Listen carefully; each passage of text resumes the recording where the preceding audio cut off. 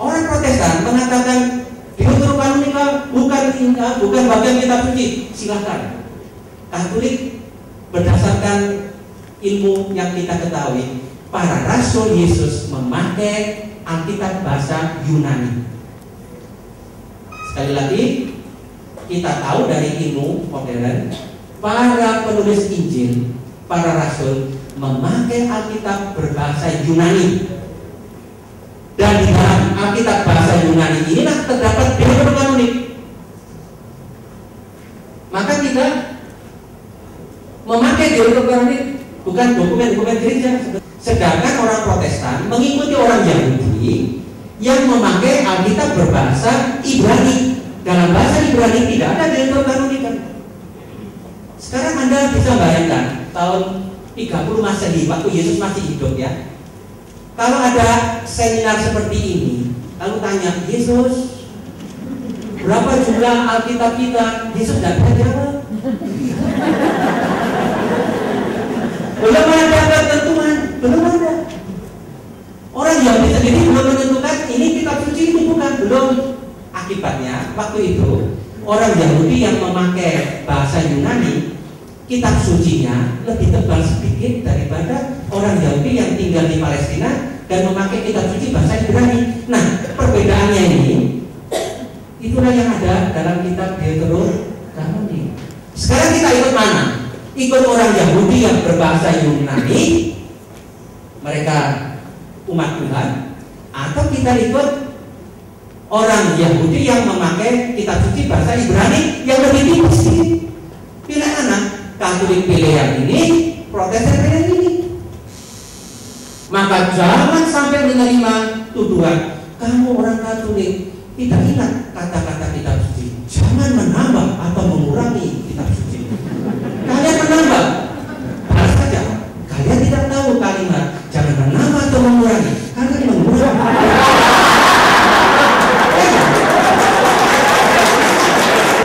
Ini keputusan. Kalian memutuskan ikut yang punya orang Yahudi ya silahkan yang berbahasa Yunani. Orang Katolik memilih yang berbahasa Yunani dengan Deuterokanonik. Nah sekarang pertanyaannya logis mana? Pilih yang mana? Ya karena saya Katolik dan belajar kitab suci saya katakan logis kita. Karena penginjil memakai yang bahasa Yunani. Jadi arahnya lebih ke arah menerima Deutero. Lalu sekarang pertanyaannya juga dengan Ibu Syari tadi, LAI, Lembaga Alkitab Indonesia itu punya orang Kristen Protestan. Lebih mana terbitan ND punya Katolik dan lain-lain? Jawabannya begini Pak. LAI itu suatu persekutuan gereja-gereja yang tidak terbatas pada gereja tertentu. Jadi sangat terbuka mereka. Dan Bapak Ibu ketahui, kami termasuk saya sedang menerjemahkan ulang seluruh kitab suci. Sudah enam tahun kami menerjemahkan ulang kitab Deuterokanonika langsung dari bahasa asli bahasa Yunani ke dalam bahasa Indonesia terjemahan ulang. Itu kerjasama dengan LAI. Lalu ahli-ahli Katolik yang lain termasuk Romo Parera dosen saya itu masuk dalam komisi menerjemahkan ulang kitab-kitab yang tidak deuterokanonika Mazmur, Yesaya jadi terjemahannya itu terjemahan bersama.